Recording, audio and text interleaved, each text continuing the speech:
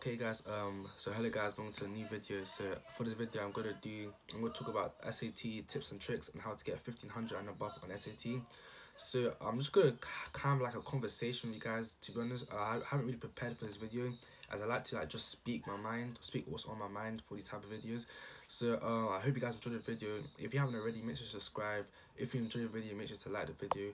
And if you have any questions, put in the comment description. Or if you want to hit on my Instagram, just underscore Dylan Ferreira underscore. If any question you have, I don't mind answering. If I have time, I'll see the message and I'll answer it respectively. But other than that, um, hope you guys enjoyed the video. And yeah, let's get started. Okay, so numero uno. So the first tip that I suggest, guys, I've taken SAT three times. One in March, May, October. And trust me, I know what I went wrong and I know how to get a good score. If you want to get 1500 and above, follow these tips and you're guaranteed to get 1500 and above. The first tip is practice. When I mean it, guys, you need to practice for the SAT. Okay, there are some students that never done any SAT practice in their life. They get a perfect score, they get 1500, but that is not you. If you're watching that video, it's because you're not that student. So if you guys really want to improve practice, practice, practice. When I mean practice, I mean like three to five hours a day. Maybe excluding weekends because weekends is time to rest, to be honest.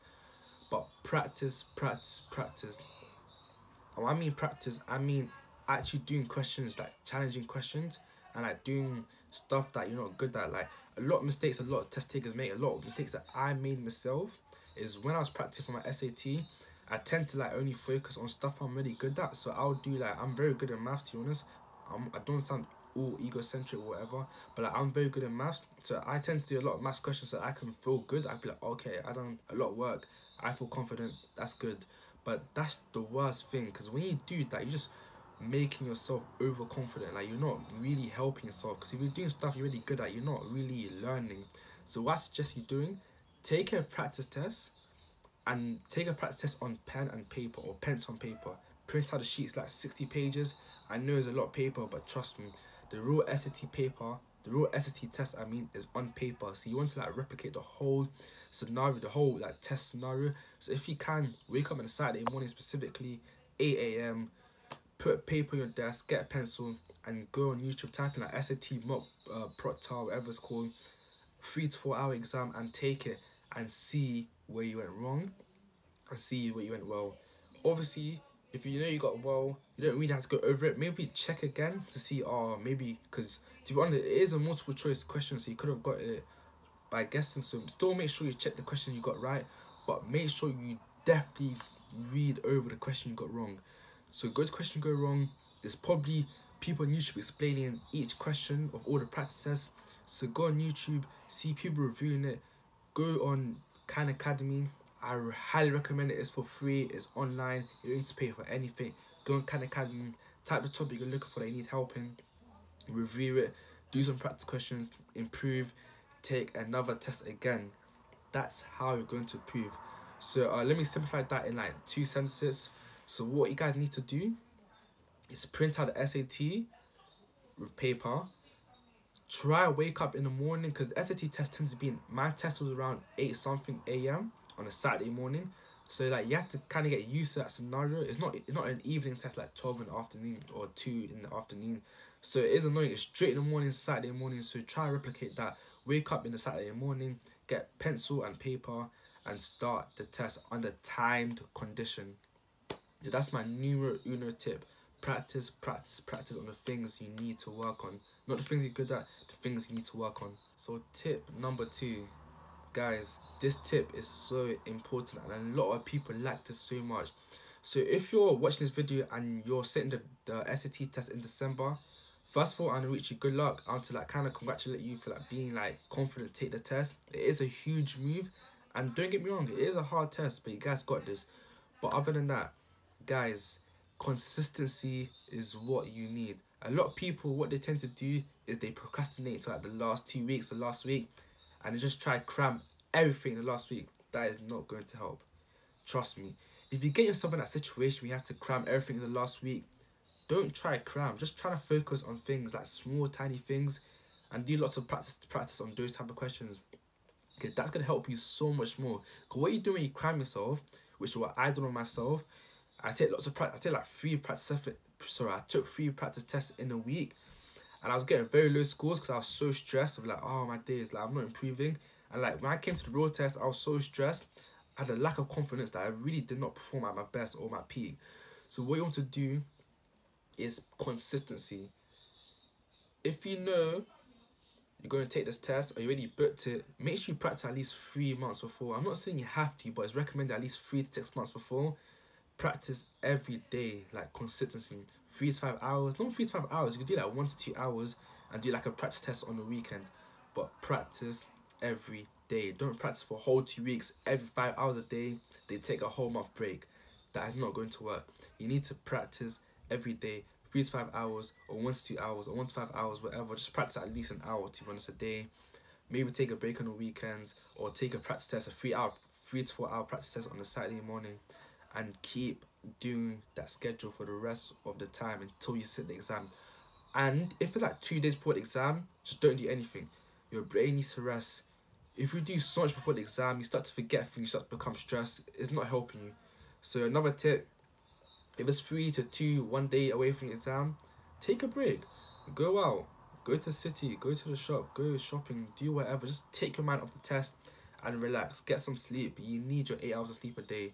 So guys, that's my tip. My numerous so that's my second tip. Make sure you're consistent. And I'm gonna repeat this again. If you're in that situation where you have like one week, two weeks left for your exam, Focus on tiny stuff. Don't try and cram everything in. That's not going to help. Just focus on the small things. But yeah, that's everything for my second tip. Let's go on to the third. Okay, guys, for my third tip, you need a goal. To be honest, when you look at SAT, and has to be a realistic goal. So, for example, if you get like an 1100 or 1200 or 1300 on your practice test, and you say you want to get like a 1600 or 1550, that's not really realistic, especially if you have like two to one week before your actual test. Like, trust me, guys, when you set realistic goals, you're going to work towards those goals and you will achieve those goals if you put on the work. So, my third tip is set up a goal. Look at the colleges you're applying to. For example, if you're applying to super extreme, extra competitive university like Harvard, Washington University, MIT, Stanford, Duke, Ivy League, etc., you put on to aim for like a 1450. Even 1450 is quite iffy, but like 14 I'll say 1480 to be honest, 1450, 1480 and above. That should be your goal if you aim for these type of colleges. If you aim for like more T20, T30 universities, like give me a good example. Uh, I'm not too sure to be honest. Um, UV actually UVA is quite good.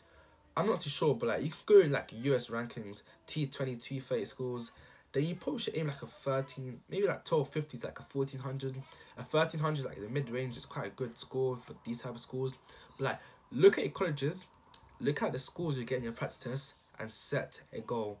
And one good thing I like about Khan Academy, I will put a link in the description about Khan Academy. Khan Academy is so good. It's for free. It's online. It's beautiful. It's amazing. I super recommend. It literally zero cost. Like if you want to get better in SAT, use Khan Academy, and you basically you're basically set to be honest. You put in the work, obviously. But as I was saying, set a reasonable goal. So for example, one thing I like about SAT is like um if I get like a 14 if I take like a you can link your sorry you can link your college board account to your Khan Academy account for example.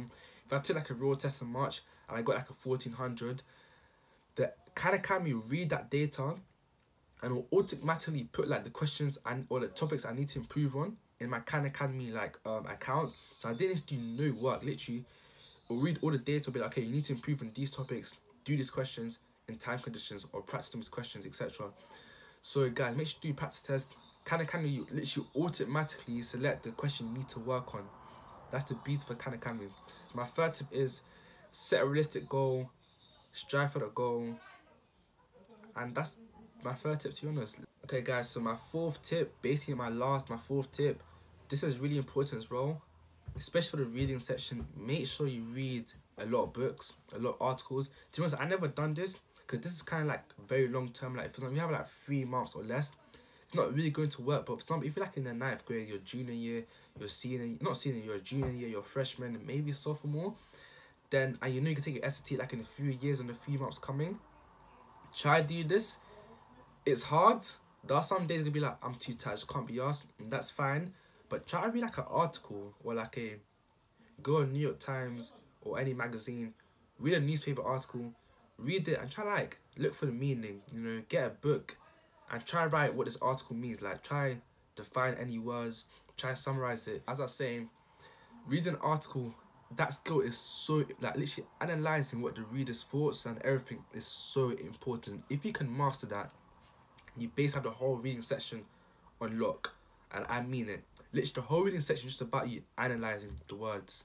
What does this word mean in content? What does this tone suggest about the paragraph? Or what does this author, how does this author describe this character? How does this setting set the story, etc.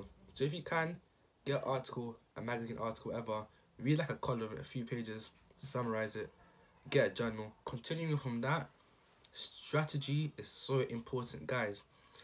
SAT test is a standardized test.